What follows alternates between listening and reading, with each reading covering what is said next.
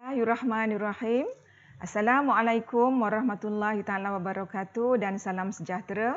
Ah, yang berusaha Tuan Pengarah IPG Kampus Pendidikan Teknik Encik Romaino bin Rabu, Tuan Timbalan Pengarah Encik ah, Dr. Muhammad Nordin bin Abu Bakar, ketua-ketua jabatan, ah, ketua-ketua unit serta para hadirin pada program Deep Talk kita pada hari ini.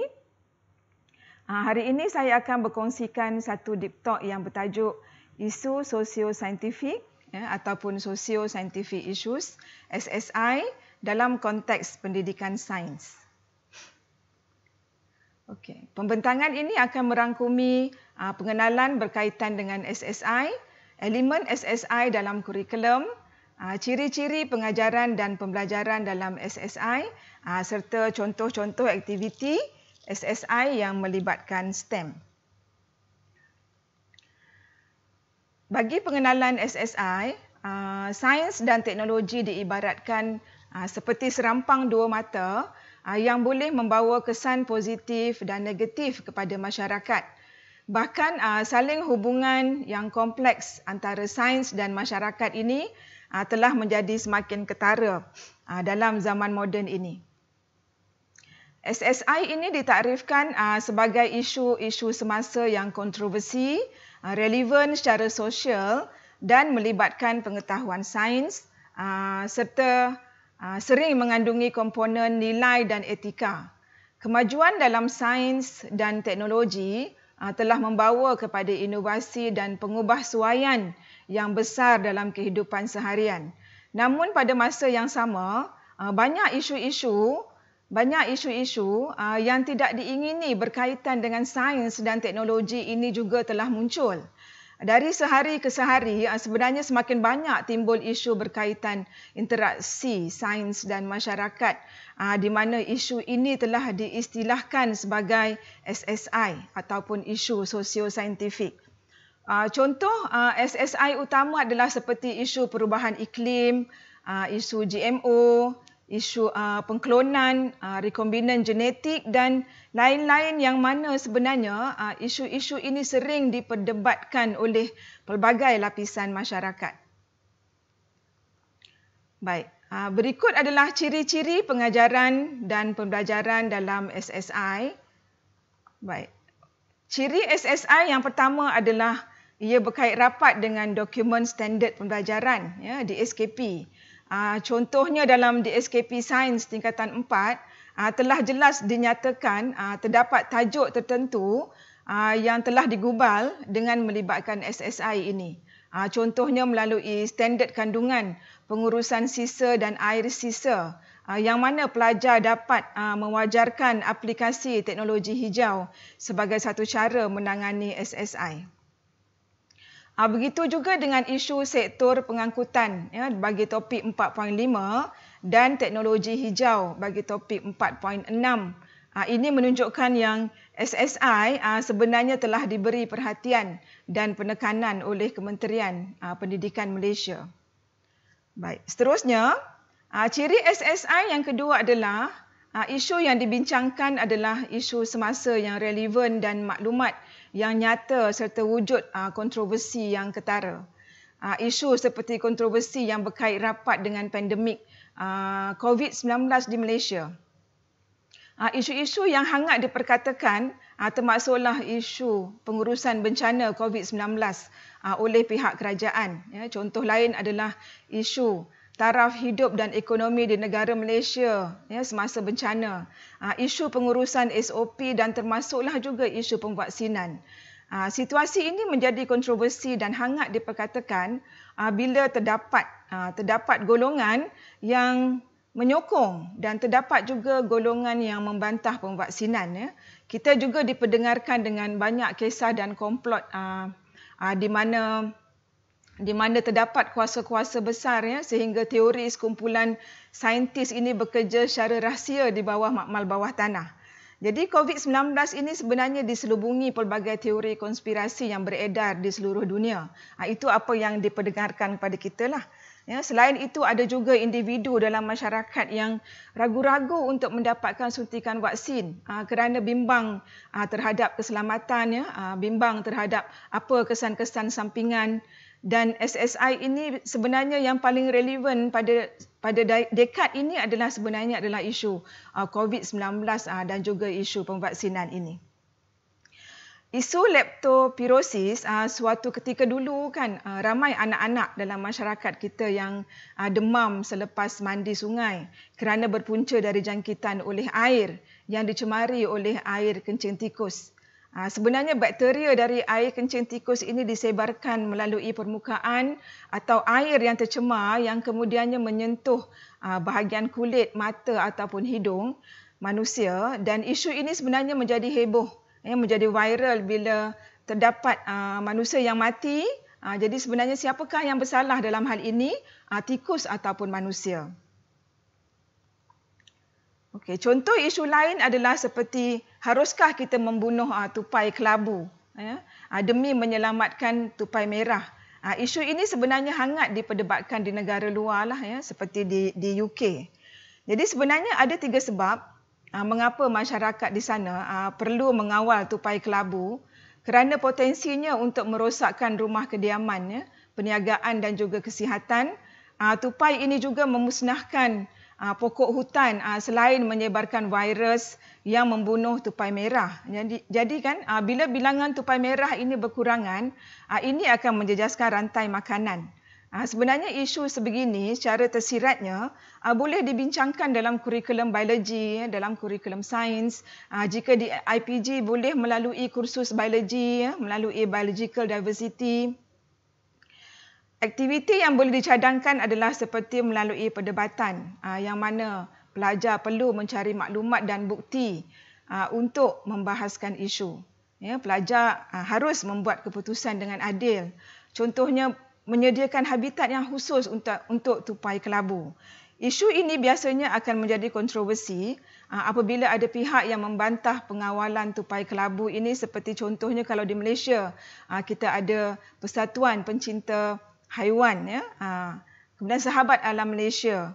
Jadi perdebatan ini sepatutnya harus mengambil kira banyak perkara termasuklah pandangan-pandangan ahli akademik dan juga pandangan ahli dalam masyarakat. Okey, contoh lain adalah lebah banyak yang mati. Jadi adakah kita mengambil peduli terhadap kematian lebah ini? Apa yang kita nak hairankan dengan lebah yang mati disebabkan sebenarnya ramai lagi orang yang mati disebabkan oleh COVID-19. Tapi isu kita sebenarnya ialah kita sedang kehilangan uh, jutaan lebah setiap tahun kerana pelbagai punca uh, termasuklah uh, punca-punca dari pencemaran, ya, perubahan iklim dan kehilangan habitat. Lebah adalah ejen pendembungaan pollination bagi tumbuhan berbunga. Kekurangan spesies lebah ini akan mengganggu keseimbangan ekosistem dan mengganggu rantai makanan serta menjejaskan bekalan makanan global di masa hadapan. Jadi isu di masa hadapan inilah sebenarnya yang patut kita ambil peduli, kita ambil cakna kerana ia melibatkan ah, penerusan generasi umat manusia.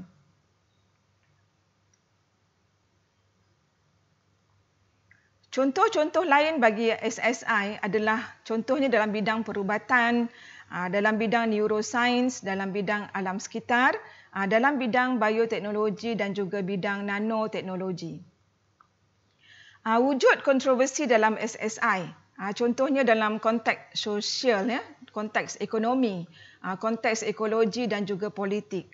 Wujud juga kontroversi dalam komuniti saintifik kerana biasanya sukar mendapatkan persetujuan disebabkan ketidakcukupan data dan lain-lain. Uh, selain itu, uh, topik mana dalam sains yang kontroversi uh, dari sudut ekonomi dan juga saintifik? Uh, contohnya stem cell dan tenaga nuklear. Uh, begitu juga kesan jangka panjang pengambilan GMO dan pemanasan global. Uh, apakah sektor yang akan terjejas uh, disebabkan perkara ini?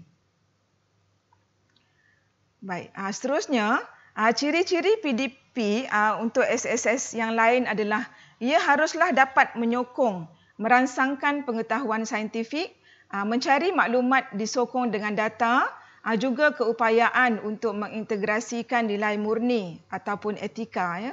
Contohnya, adakah isu uh, vaksin? Adakah vaksin ini benar-benar boleh mencegah penyakit?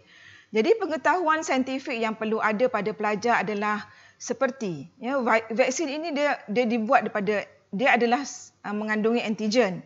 Antigen diperolehi daripada virus ataupun bakteria yang mati ataupun yang dilemahkan dan boleh merangsang sistem imuniti tubuh ya untuk membentuk imuniti bagi melawan penyakit.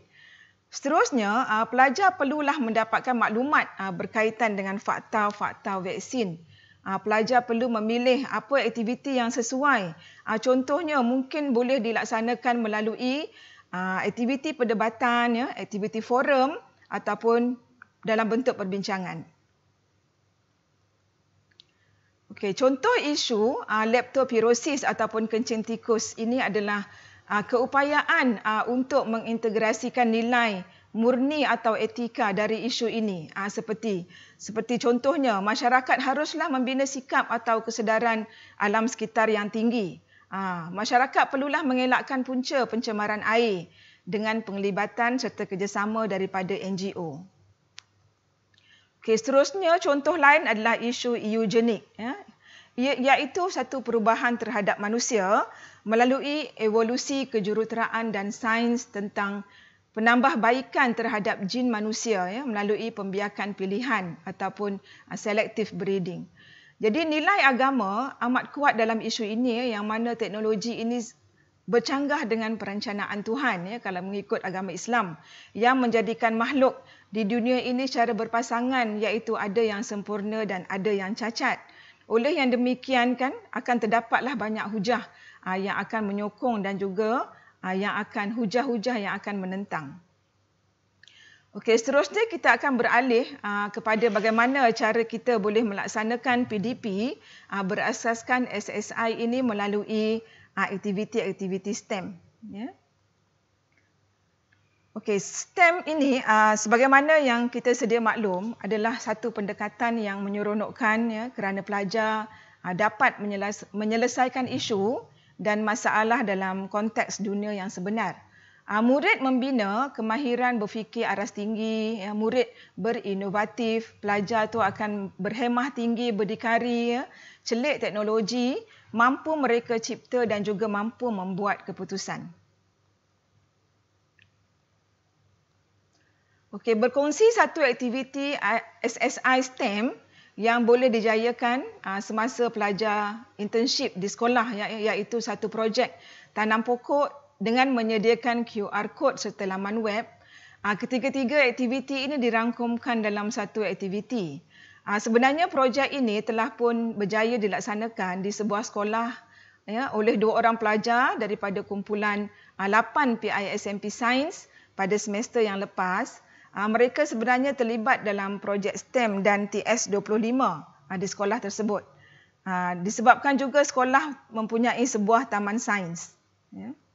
Okey, jadi tujuan utama projek ini adalah untuk mewujudkan inovasi dalam pendidikan STEM uh, selain daripada penerokaan tumbuhan, memberi manfaat kepada pihak sekolah serta menggalakkan penggunaan teknologi.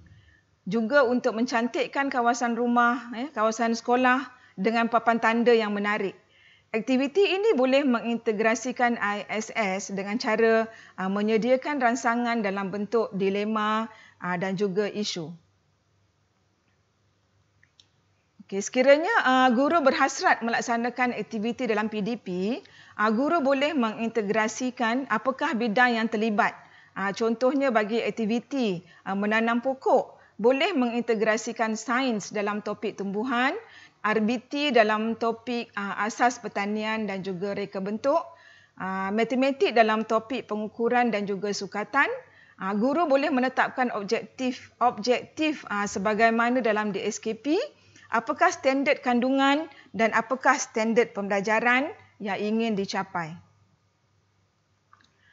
Seterusnya, guru juga boleh menetapkan standard prestasi serta apakah konsep STEM yang terlibat dalam aktiviti.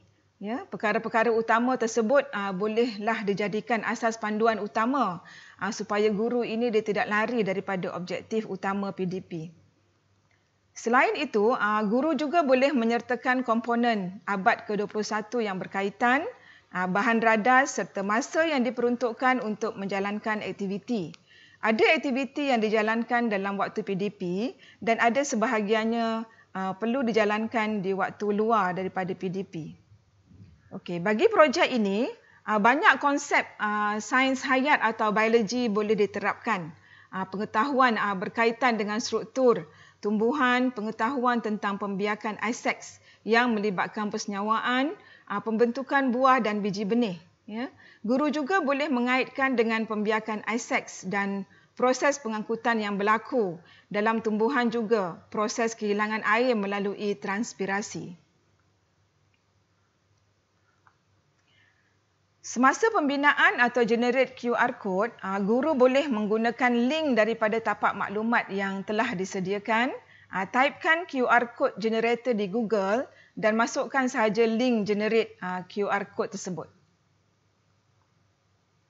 Okey, dalam penghasilan QR code ini serta mengisi maklumat tumbuhan pada laman web, guru boleh menggunakan aplikasi seperti wix.com, ya, wordpress.com, blogspot.com dan juga Google Drive. Okey, kemudian uh, printkan QR code dan letakkan di pokok-pokok mengikut kreativiti. Uh, selepas itu, uh, boleh disambung dengan membina laman web dan isikan maklumat tentang tumbuhan. Ya. Murid juga menggunakan kreativiti bagi proses editing. Uh, contohnya maklumat utama seperti nama saintifik, uh, jenis tumbuhan, uh, ketinggian dan jenis pokok juga boleh diletakkan ah, gambar-gambar biji benih serta khasiat bagi tumbuhan tersebut. Ah, disertakan juga contoh-contoh website yang boleh dilawati di sini. Okey, berlaku uh, sebenarnya berlaku konsep pemindahan ilmu sekiranya projek ini disebarluaskan kepada komuniti setempat atau paling tidak kepada semua warga sekolah. Uh, contohnya Taman Rekreasi Paya Bakau di Kampung Sijangkang uh, telah berjaya menyebarluaskan maklumat dan juga pengetahuan uh, berkaitan Taman Paya Bakau kepada komuniti yang berkunjung di sana. Okey, kita beralih kepada aktiviti-aktiviti berasaskan SSI STEM yang telah dilaksanakan di IPG Kampus Pendidikan Teknik. Okey, sejak akhir-akhir ini, uh, kita melihat uh, banyak iklan uh, pensanitasi tangan atau hand sanitizer uh, yang menyatakan produk mereka mampu membunuh sehingga 99.99% kuman termasuklah COVID-19. Persoalannya apakah benar produk-produk tersebut mampu bertindak sedemikian ya?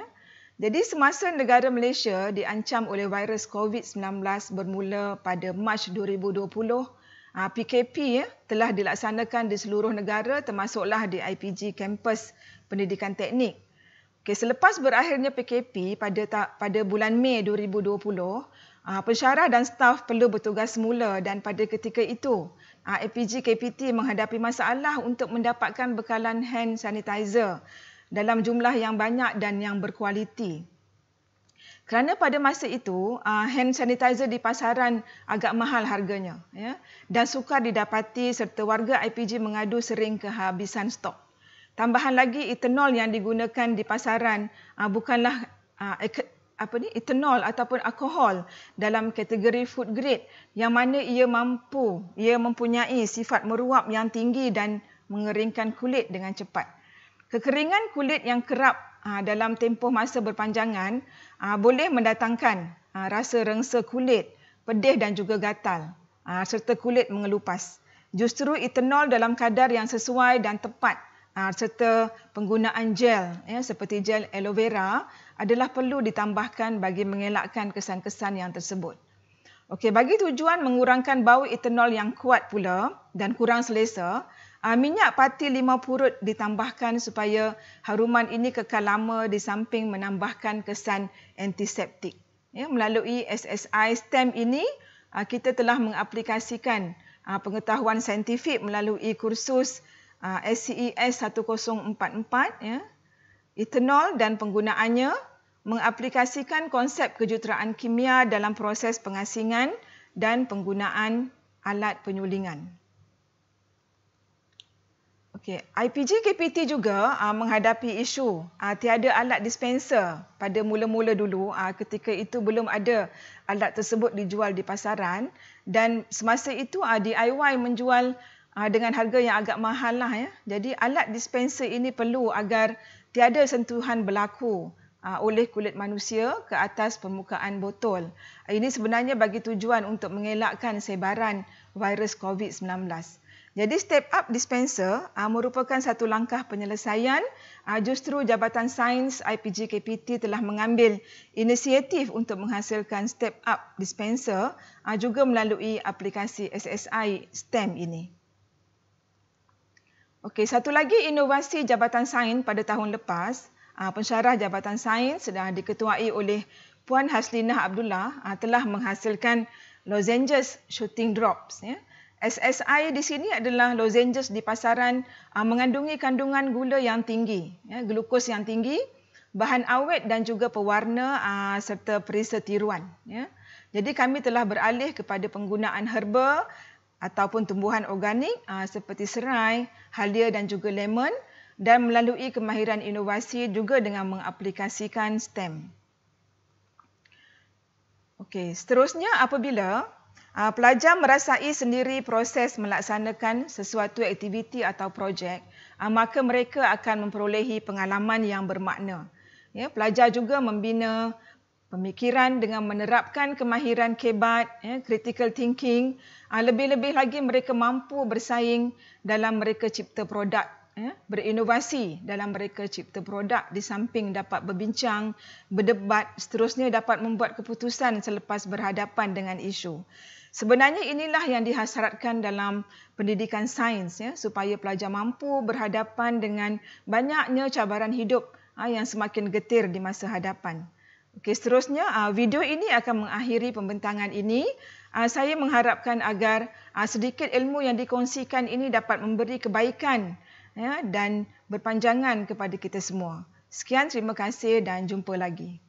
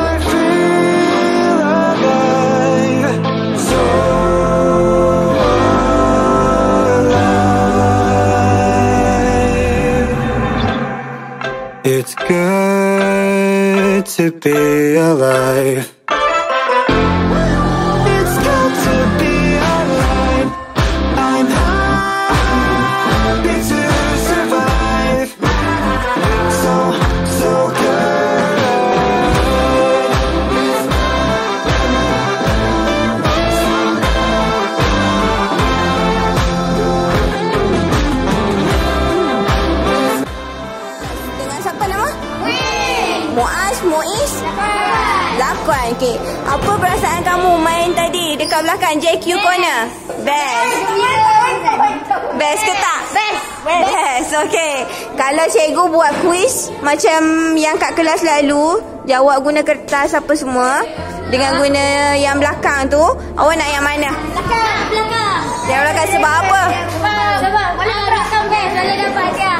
Boleh bergerak-gerak lagi? Gerak-gerak. Boleh dapat hadiah. Boleh dapat hadiah. Boleh dapat hadiah. Okey.